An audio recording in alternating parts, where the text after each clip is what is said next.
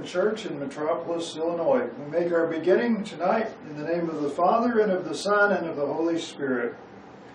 When news about the coronavirus broke out in America, all of a sudden people were buying up toilet paper and hand sanitizer and Lysol.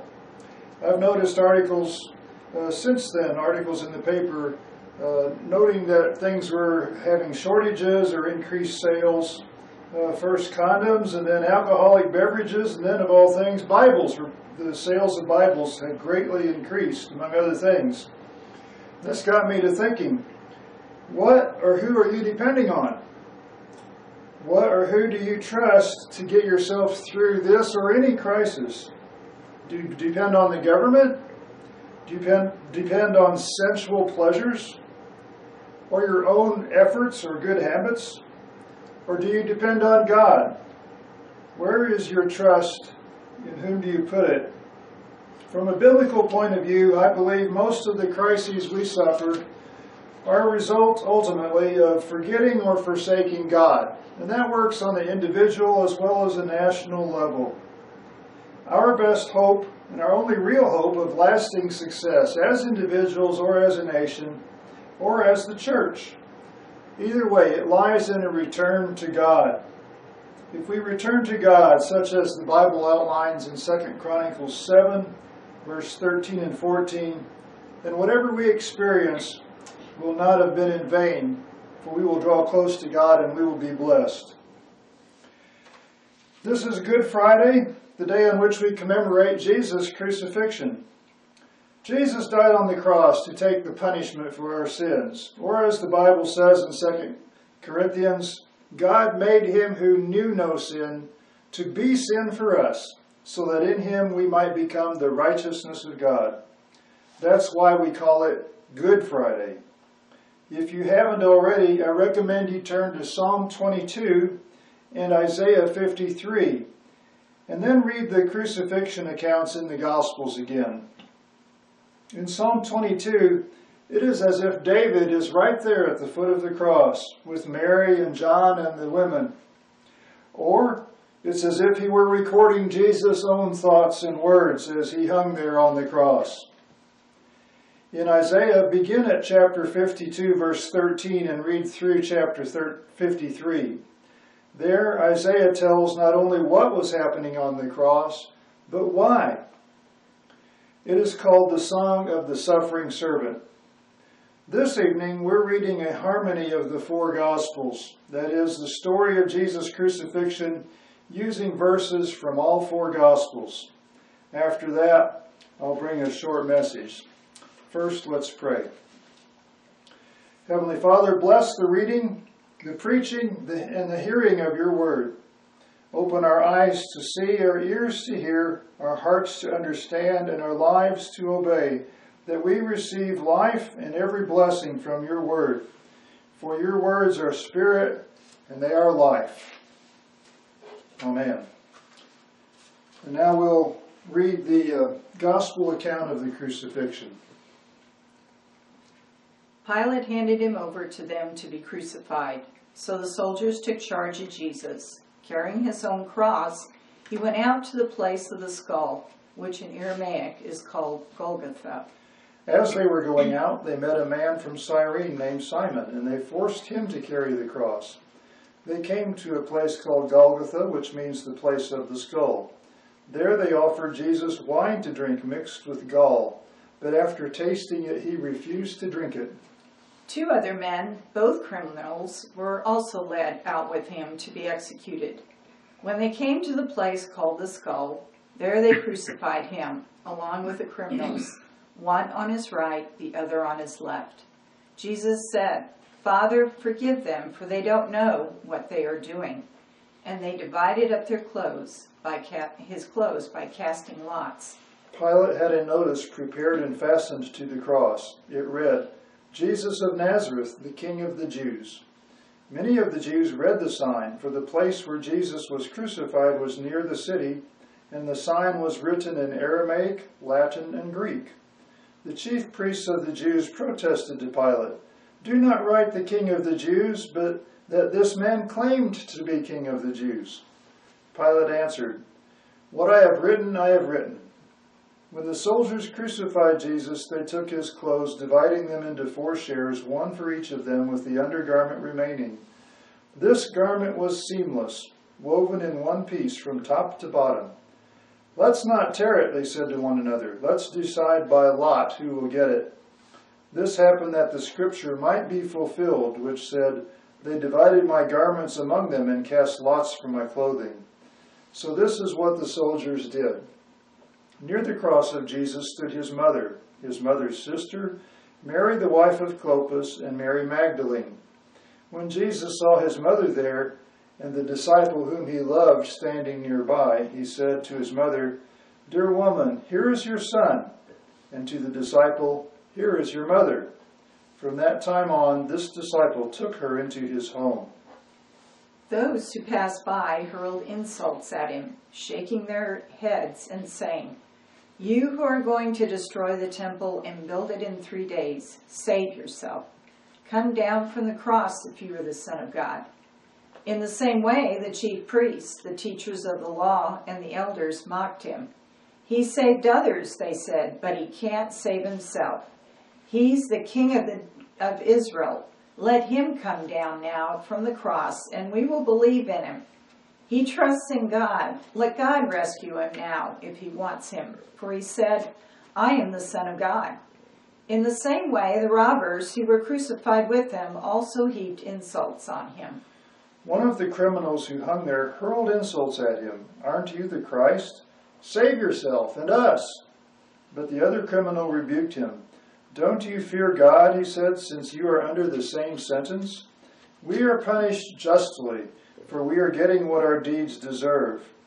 But this man has done nothing wrong. Then he said, Jesus, remember me when you come into your kingdom. Jesus answered him, I tell you the truth, today you will be with me in paradise. From the sixth hour until the ninth hour, darkness came over all the land. About the ninth hour, Jesus cried out in a loud voice, Eli, Eli, lama sabachthani, which means, My God, my God, why have you forsaken me? When some of those standing there heard this, they said, He's calling Elijah. Later, knowing that all was now completed, and so that the scripture would be fulfilled, Jesus said, I'm thirsty. A jar of wine vinegar was there, so they soaked a sponge in it put the sponge on a stalk of a hyssop plant, and lifted it to Jesus' lips. When he had received the drink, Jesus said, It is finished. With that, he bowed his head and gave up his spirit. Jesus called out in a loud voice, Father, into your hands I commit my spirit. When he had said this, he breathed his last. And when Jesus had cried out again in a loud voice, he gave up his spirit. At that moment, the curtain of the temple was torn in two from top to bottom. The earth shook and the rocks split. The tombs broke open, and the bodies of many holy people who had died were raised to life. They came out of the tombs.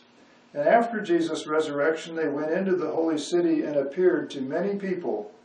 When the centurion and those with him who were guarding Jesus saw the earthquake and all that had happened, they were terrified and exclaimed, Surely he was the Son of God. When all the people who had gathered together to witness the sight saw what took place, they beat their breasts and went away. But all those who knew him, including the woman, women who had followed him from Galilee, stood at a distance watching these things. Now it was the day of preparation, and the next day was to be a special Sabbath. Because the Jews did not want the bodies left on the crosses during the Sabbath, they asked Pilate to have the legs broken and the bodies taken down. The soldiers therefore came and broke the legs of the first man who had been crucified with Jesus, and then those of the other. But when they came to Jesus and found that he was already dead, they did not break his legs.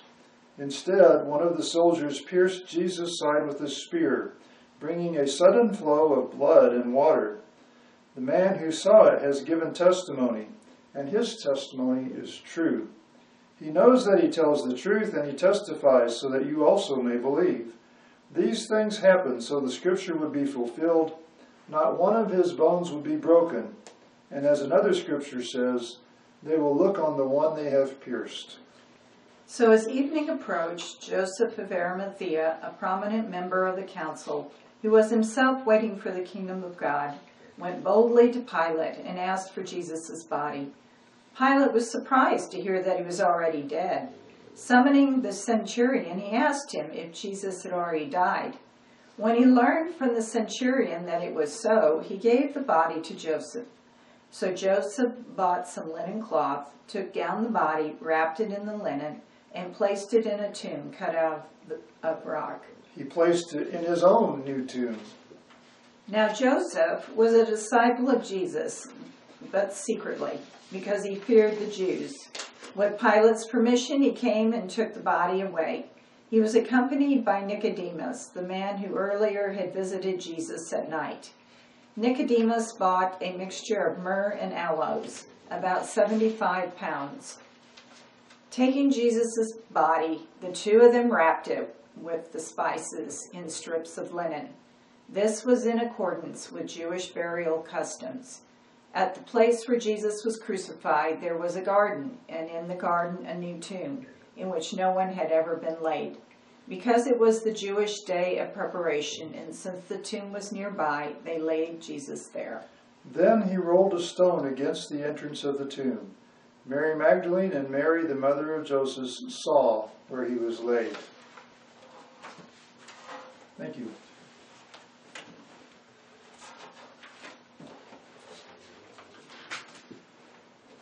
Jesus, while dying on the cross, is reported in the Gospels as having made seven distinctive statements. We call these the seven words from the cross.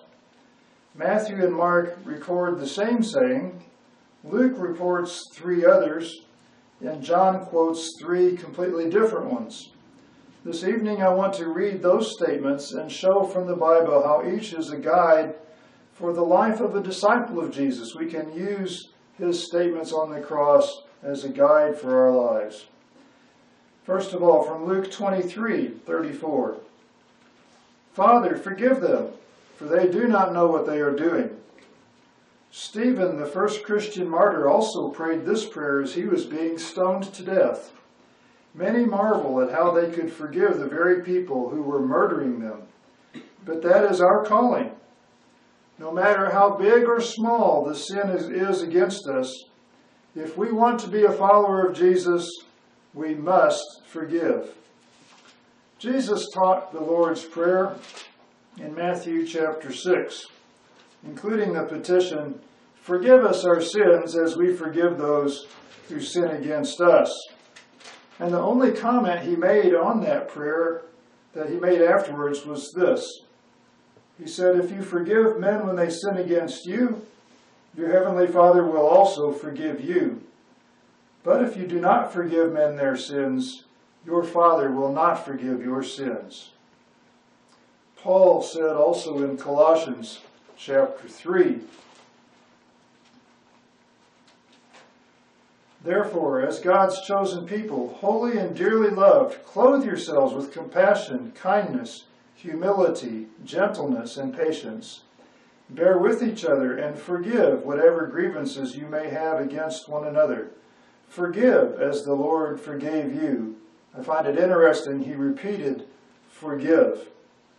And that's what we're called to do forgive.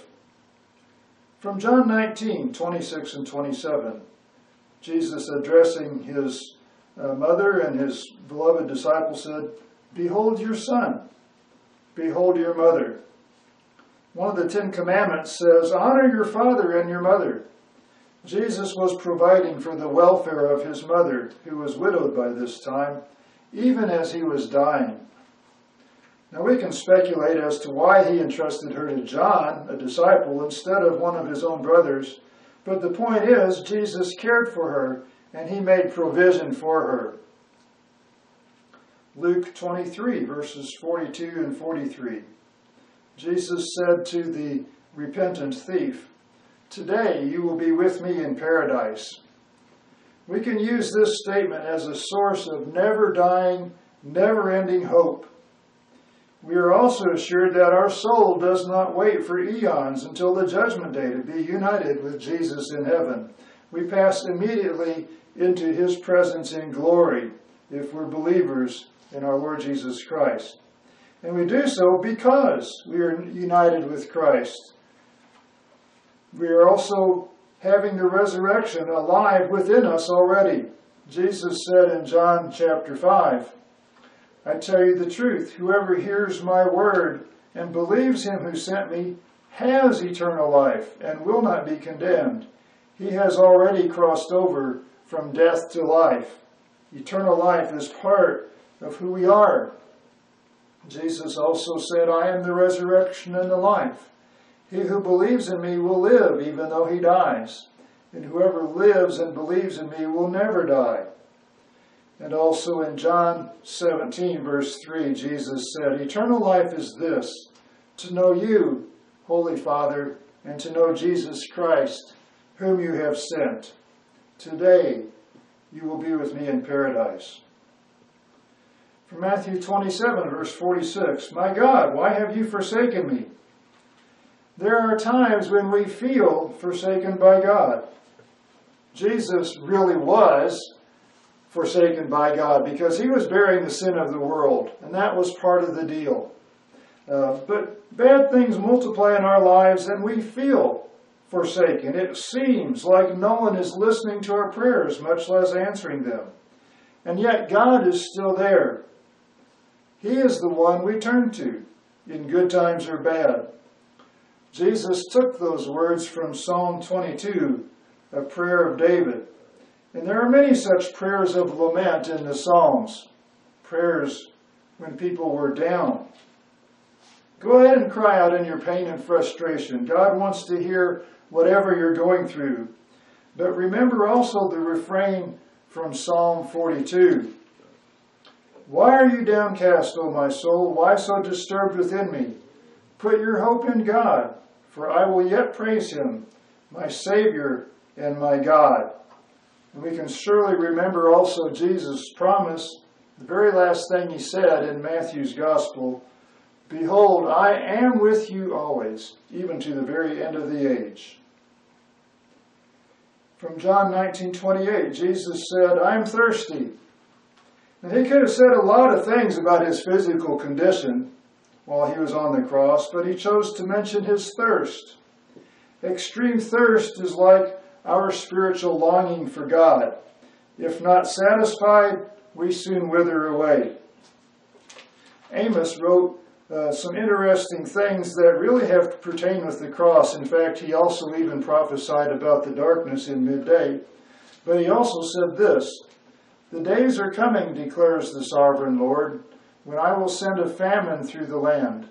Not a famine of food or a thirst for water, but a famine of hearing the words of the Lord. In Psalm 63, another one of those Psalms that talk about a hard time. And again, David wrote this. He said, O God, you are my God. Earnestly I seek you. My soul thirsts for you. My body longs for you in a dry and weary land where there is no water.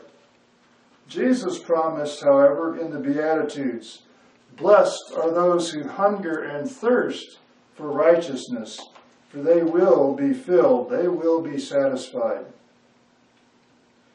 From John 19:30, Jesus said, "It is finished." When doing hard things or simply living as a follower of Jesus, you will sometimes encounter opposition.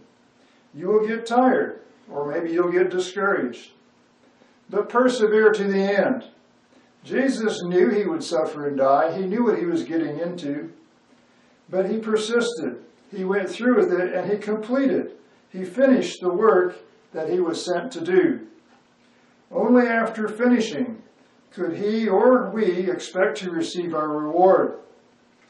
Paul was also nearing the end of his life when he wrote the second letter to Timothy. He knew he would be sacrificed. Uh, that's the word he used, at least. He was actually going to be persecuted, uh, have his head cut off for being a martyr. Uh, but as he neared the end of his life, he said this I have fought the good fight. I have finished the race. I have kept the faith. Now there is in store for me the crown of righteousness, which the Lord, the righteous judge, will award me on that day, and not only to me, but also to all who have longed for his appearing. Paul also said in Ephesians chapter 6, Therefore put on the full armor of God, so that when the day of evil comes, you may be able to stand your ground. And after you have done everything, to stand. When you have done all that you can do, you will still be standing in the end. Do what you can. Finish and then stand. Jesus said, Be faithful even unto death, and I will give you the crown of life. And from Luke 23 46, Jesus said also on the cross, Into your hands I commit my spirit. God has given us life.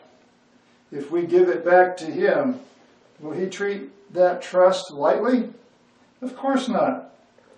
He will regard that as the most precious gift we could give, which surely it is. Paul said this I'm not ashamed because I know whom I have believed, and I am convinced he is able to guard what I have entrusted to him for that day. Paul gave his life into God's hands, and God kept it for him until his time was over. Psalm 37, verse 5 and 6. Commit your way to the Lord. Trust in him, and he will do this. He will make your righteousness shine like the dawn, the justice of your cause like the noonday sun. And finally, Peter also writes in 1 Peter chapter 4, so then, those who suffer according to God's will should commit themselves to their faithful Creator and continue to do good. Commit yourself, body, soul, and spirit to the Lord, and He will take care of you. Let us pray.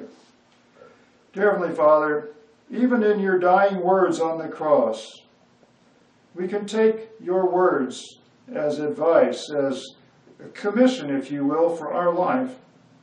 Your words from the cross, your words in dying, show us how to live. We pray that you would help us to take your words, your instructions, seriously. That you would help us to bear fruit according to uh, the earnestness with which we look to your word and put them uh, to practice in our lives. We thank you for this day that we call Good Friday most of all because it was on this day you dealt with sin. You gave Satan the final blow that ensured his defeat. You overcame death by taking away its power, which is sin. We thank you for all that you have done for us. We look forward to not only living for you in this life, but living with you in the life to come, all because of what you did for us, dying for our sins that we might be forgiven. And so we thank you. We pray uh, for your blessing on our church, upon our lives, upon our families, upon our nation. And all this we ask in the name of Jesus our Lord, who taught us to pray. Our Father, who art in heaven, hallowed be thy name. Thy kingdom come, thy will be done, on earth as it is in heaven. Give us this day our daily bread and forgive us our sins as we forgive those who sin against us. Lead us not into temptation, but deliver us from evil. For thine is the kingdom, the power, and the glory, forever and ever. Amen. May the Lord bless you and keep you. May the Lord make his face to shine on you and be gracious to you. May the Lord look upon you with favor and give you peace. Amen. I invite you to join us on Easter morning at 10 o'clock as we celebrate our Lord's resurrection. Good evening.